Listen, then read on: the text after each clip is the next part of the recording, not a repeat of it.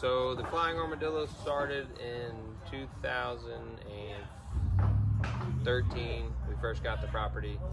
Uh, my dad retired and was basically looking for a way to diversify his investments, and so he bought the piece of property.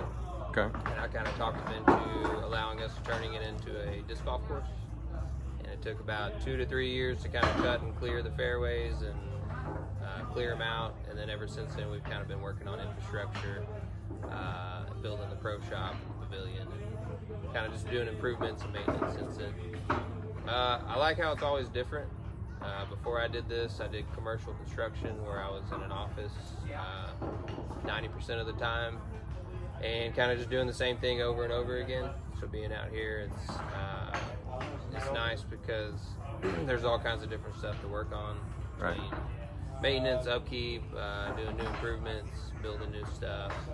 Um, and yeah, it's just always it's always something different. Every day's different. The biggest challenge uh, is probably our parking lot.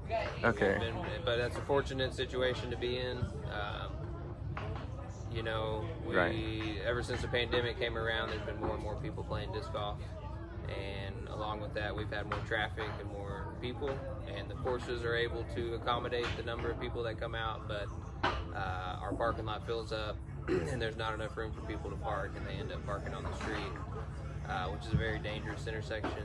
Yeah. And so that's kind of the biggest uh, limiting factor right now, as far Gotcha. as what the number of people that we can allow out right now.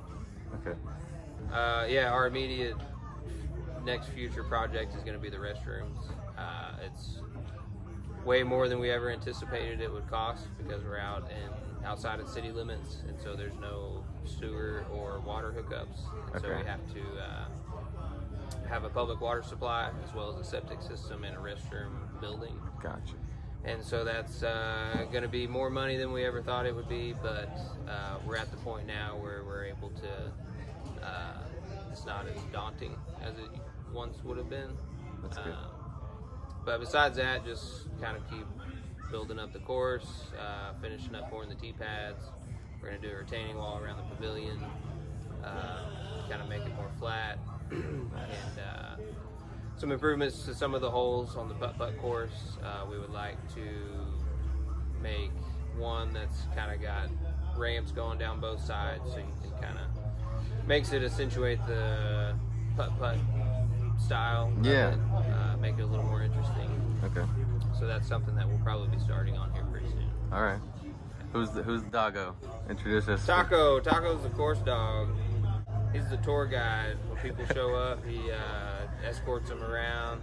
If they're willing to throw his disc for him, then uh, he, he there's nothing else that makes him more happy than that. But uh, he's good. And then there's there's two other dogs, Orby and uh, Wolfie. But uh, they're all pretty good, and they they like to greet people in the parking lot when they show up and say hi to them and make them feel Yeah. welcome. All right. I love it. Thanks, Michael. Yeah. Thanks, man.